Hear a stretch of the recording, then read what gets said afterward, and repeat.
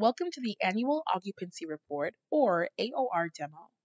This training will walk you through how to correctly complete the AOR for your housing project or projects. If you have any further questions about something mentioned in this demo, please email hss at toronto.ca. The Annual Occupancy Report template is an Excel file each year, the template will be emailed to you with instructions on how to complete the report from hss at toronto.ca. It is important to use the template included in the email each year, as this will be the most updated version. Upon opening it, you will see three tabs located at the bottom on the left of the file. The tabs are titled Instructions, Rent Roll, and 2023 AOR. The title of this tab will be updated annually to reflect the appropriate reporting year. Let's begin with the Instructions tab. This page features simple instructions on how to complete the AOR, explanations of common terms you will find useful when completing the AOR, and definitions of the various options you will find when selecting from the drop-down menus. We will refer to this section for information on how to complete the other tabs. Let's continue to the Rent Roll tab. Step 1. Check rows 2 and 3 to ensure the corporation's name and address are correct. If the information is not correct, please correct it here. Step 2. The second step is to update any new information for the property as of the end of the reporting period, in this case December 31st, 2023. There are four scenarios where you could have new information available. One, when all information in columns D, E, and H has been populated from the previous year. Two, when information from columns D, E, and or H is missing. Three, when there are vacant units. And four, when there is a superintendent unit. Let's explore each scenario further. In the first case, when you receive the AOR template, the template will be populated with the information you submitted in the previous year. For example, the 2023 AOR will be populated with the information you provided in 2022. You will need to review the data in columns A, B, D, E, and H. In the rare case that this information does not align with your records, please update the information and contact HSS at hss at toronto.ca to inform us of any discrepancies. Next, check that the number of units and unit types are correct in columns A and B. Let's filter column B for one bedroom apartment. First, check that the unit number and the unit type that appears next to it are correct. In this example, we are confirming that unit 102 is a one bedroom apartment. Then, Check that the total number of one bedroom apartments is correct for this address. In this example, there are two. Continue for all unit types and correct any information that is not accurate directly into the report template. With the second case, check if any of the units have missing information in columns D, E, and or H. If so, enter that information directly into the template. For example, Unit 104. The initial household income at move-in, located in column E, is missing.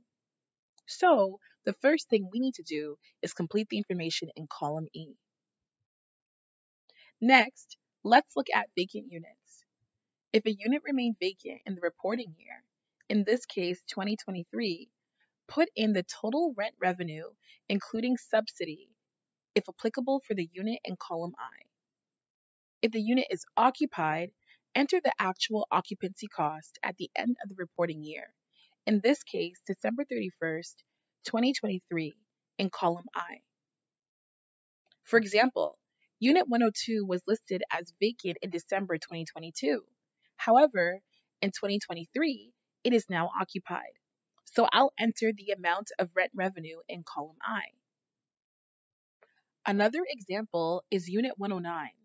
Last year, it was occupied, but as of December 31st, 2023, my records show it is vacant. So I'll put vacant in columns D and E. I'll also enter the amount of rent revenue that would have been received in column I. Now, let's discuss what to do with a superintendent unit. You can type superintendent in column E and add or update the move-in date for that unit. If the information remains the same from the previous year, you can leave it as it is. If the superintendent pays rent for this unit, include the amount paid for the unit in the actual occupancy cost at the end of the reporting year. In this case, December 31st, 2023 section. If the superintendent does not pay rent, leave it blank. For example, we can see that Unit 107 is a superintendent unit. Since this unit pays rent, enter the amount into column I, which is the actual occupancy cost at December 31st, 2023. Step 3. Now that you've confirmed your rent roll has the correct information in place for each unit, let's complete the form by filling in columns C, F, J, and K. Column C asks about your barrier-free units. This is a change from last year.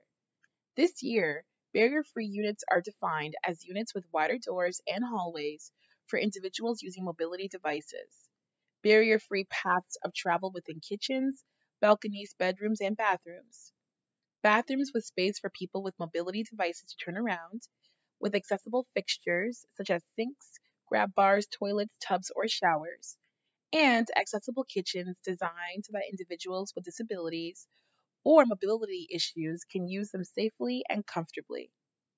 Wider doors and hallways for mobility devices. If any of your units meet the specified criteria, indicate yes in column C. Otherwise, indicate no using the drop-down menu for each unit number. Column F contains the subsidy source.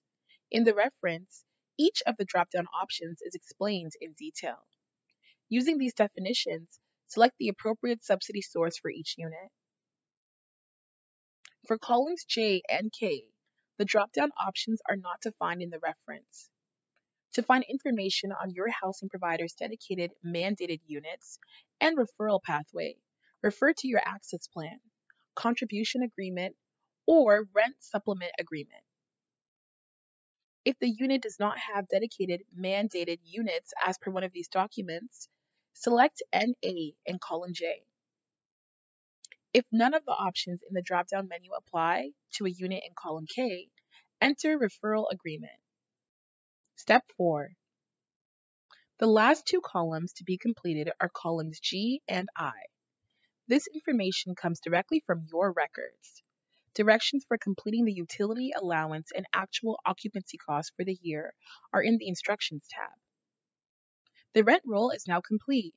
Now we'll finish with the 2023 AOR tab. This tab is designed to automatically populate calculations in sections B, C, and D. This information is based on the data you entered on the rent roll.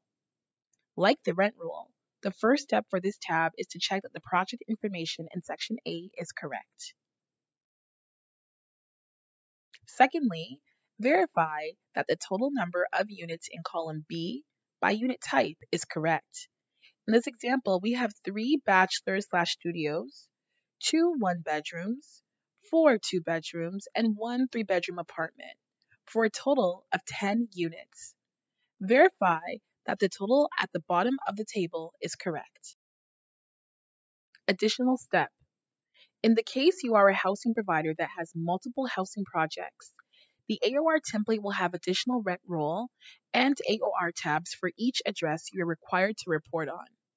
Once you are finished with the first couple of tabs, continue with the rent roll tab for your other address or addresses and repeat all the steps described previously. Once your AOR is complete, please submit your completed AOR in Excel format to hss at toronto.ca. Our staff will contact you if there are any questions or revisions required. For additional support, please contact hss at toronto.ca.